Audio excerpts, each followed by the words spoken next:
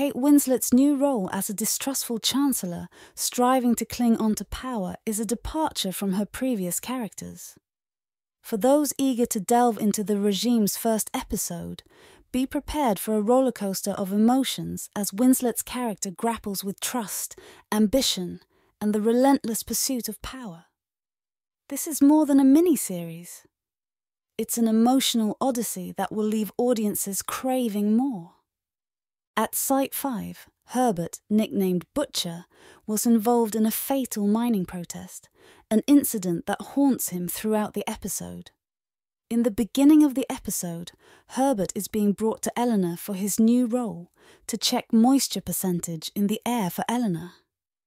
Though disliked by many, Eleanor chose him, reflecting her specific trust. Next, we see it's victory day for the regime, marking Eleanor's ascension to power seven years ago by overthrowing the former Chancellor, Edward Keplinger. Despite claims of restoring national pride, dysfunction within her cabinet suggests otherwise. The event is celebrated patriotically, but Eleanor's false portrayal of a democratic election is evident amidst ongoing turmoil, including the Site 5 massacre. During Victory Day, Eleanor visits her father's mausoleum, updating him on the country's status and boasting about her own success. Despite her cold demeanour, she seems to miss her parents, evident when she mentions their loss to Herbert. She also observes changes in her father's appearance, sparking her health worries. In the episode, Eleanor's husband Nicholas recounts their love story. They met while studying in Paris.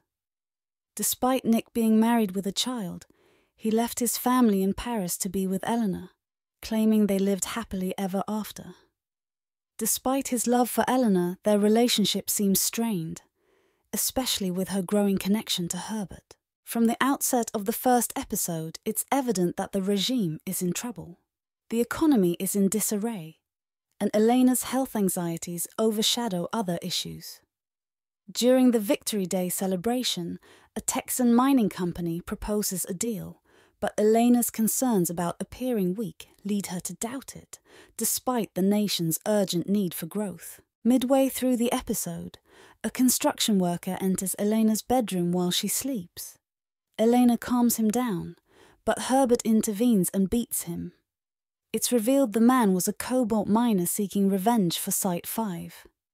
However, his hesitation and the entire scene suggest a possible personal motive behind the assassination attempt. Herbert now appears confident and proud, indicating Eleanor's newfound trust in him after he saved her life and revealed truths about her perception.